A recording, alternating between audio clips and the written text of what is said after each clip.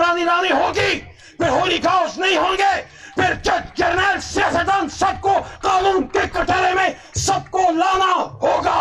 कि जो बात जिन्होंने की, वो बात इमरान खान कर रहा तो फिर इमरान खान जेल में क्यों है? कि जिना ठीक था, जो कि ठीक था तो फिर आज वो बात गलत कैसे हो गई? कल अगर ताज बरतानिया के सामने सराय हक बुलंद करना ठीक था तो आज अंकल सैम अमरीकी इस्तेमाल के सामने नॉट कहना गलत कैसे हो गया? सच बोलना पड़ेगा। हकदार को हक देना पड़ेगा। ट्राइबल बेल्ट का पश्तून नाराज़ है, उदास है। बलोचिस्तान के मजबूर और बेकस बलोचों को सीने से लगाना पड़ेगा ये बच्चे भी। गुलाम अपने गुलाम होंगे। राबिया बहन बैठी हैं। असद कैसे साहब तो चले गए। बहुत से इनमें और हाजरीन में लाहौर पुराने मिंटो पार्क मीनार पाकिस्तान के साय तले हम इकट्ठे थे 2013 में। और उस रात की वो बारिश डॉक्टर साहब आपको याद होगी बड़ी बारिश बरसी थी उस रात। बिल्कुल।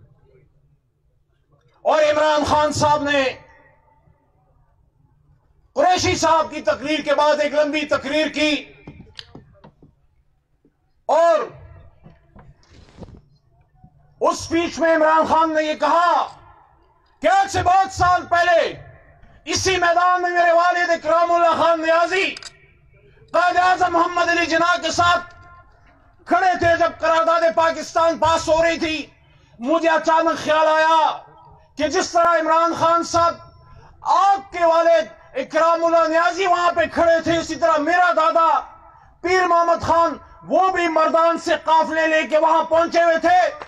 तो मेरे दोस्तों, वहाँ से करारदाद पाकिस्तान जब पास हुई तो करारदाद पाकिस्तान का मैसेज क्या था, आज़ादी। आज़ादी। जिना का विजन क्या था?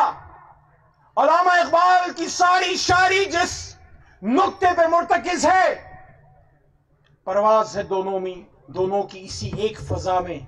किरगस का जहाँ और, शाही का जहाँ और, अल्फाज मानी में तफावत नहीं, लेकिन मुल्ला की अजा और, मुजाहिद की अजा और। तो मेरे दोस्तों, आज जब हम और अरबाब इकदार से भी पूछता हूँ, क्या जब हम तेईस मार्च 1940 को मना रहे हैं, चौरासी साल बाद जिना के विजन पे हम लोग खड़े हुए, और जिस तरह जिना ने लियाकत अली खान के साथ और बड़ी सगीर के मुसलमानों ने हिंद के साथ ये नारा बुलंद किया कि बट के रहेगा हिंदुस्तान, बन के रहेगा पाकिस्तान।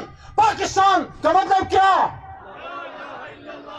तो जिस आज़ादी के लिए अंग्रेज़ के खिलाफ जिना खड़ा था, उसी हकीकी आज़ादी के लिए आज इमरान खान और हम खड़े हैं। सवाल यह है कि जिस आज़ादी को आज हम मना रहे हैं, उस हकीकी आज़ादी के नंबरदारों को तेईस मार्च 2024 को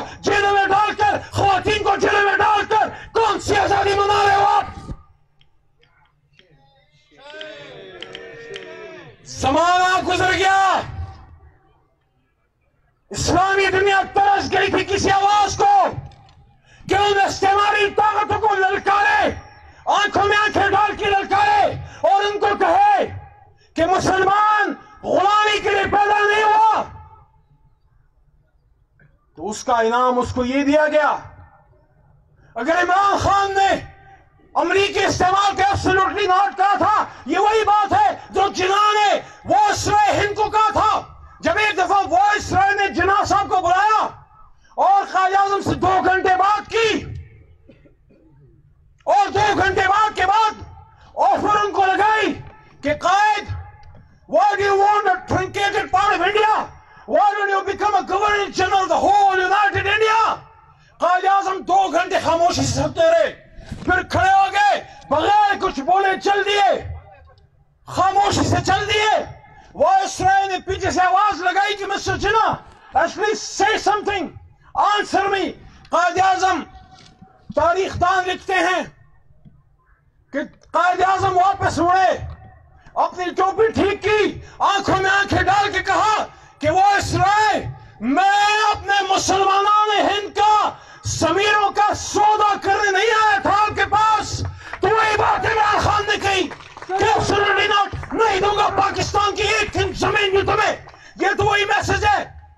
जिस पे अज़ीज़ भट्टी शहीद हुआ, यही तो वो मैसेज है, जिस पे लाला जान शहीद हुआ, यही तो वो मैसेज है, जिस पे राशिद मिनहास शहीद हुआ, यही तो मैसेज है, जिस पे कर्नल शेर शहीद हुआ।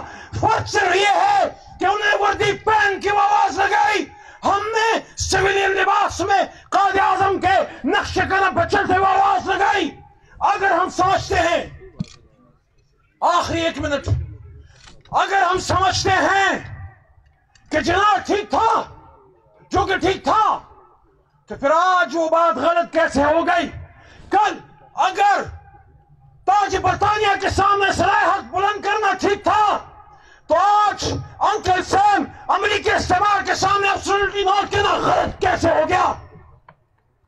मेरे दोस्तों, सच बोलना पड़ेगा, हकदार को हक देना पड़ेगा। ट्राइबल बेल्ट का पश्तून नाराज़ है, उदास है। अपने हाथों से अपने बच्चों के जनाजे पड़ा चुका है। उसके सर पे हाथ रखना पड़ेगा। बलोचिस्तान के मजबूर और बेकस बलोचों को सीने से लगाना पड़ेगा। दहशतगर्दी और गद्दारी के फतवे देने के बजाय मसाइल के हल की तरफ़ आना पड़ेगा।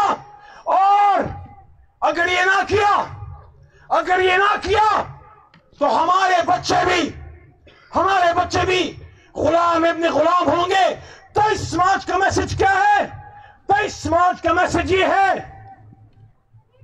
कि हमने हज़रत अली रज़ी तला के नक्शे कदम पर चलते हुए हमेशा हमेशा जुल्म के खिलाफ आवाज़ उठानी होगी। अगर ये आवाज़ हम उठाते रहे तो पाकिस्तान का पैगाम, संचालिस का पैगाम ज़िंदा रहेगा। आज हमारे बच्चे हमसे पूछते हैं कि जो बात जिन्हों ने की, वो बात इमरान खान कर रहा है। तो फिर इमरान खान जेल में क्यों है? कायद आज़म के इस फरमान पे आपसे इजाज़त चाहूँगा। संचालिस में जब करारदाद लाहौर पास हुई, जिसको फिर दुनिया ने करारदाद पाकिस्तान के नाम से जाना, दो साल बाद All India Muslim Student Federation को खिताब करते हुए कायद आज़म ने फरमाया कि मुझसे अक्सर पूछा जाता है कि जिस पाकिस्तान की आप बात करते हैं, उस पाकिस्तान का तर्ज हुक्मरानी क्या होगा? कायद कहते, मैं कौन होता हूँ इसका फैसला करने वाला? ये फैसला तो कुरान में तेरह सौ चौदह सौ साल पहले हो चुका। कुरान हमारी रहनुमाई के लिए क्यामत मौजूद रहेगा। तो अगर हम चाहते हैं कि पाकिस्तान जिला का पाकिस्तान बने तो फिर यहाँ कानून की हुक्मरानी लानी होगी। फिर होली काउस नहीं होंगे। फिर जज जर्नल, सियासतदान सबको कानून के कटहरे में सबको लाना होगा। पाकिस्तान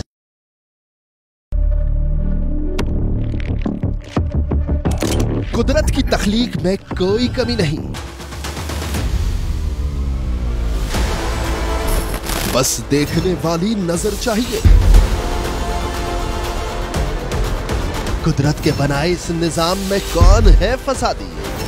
और कौन कर रहा है हक की मनादी Absolutely not.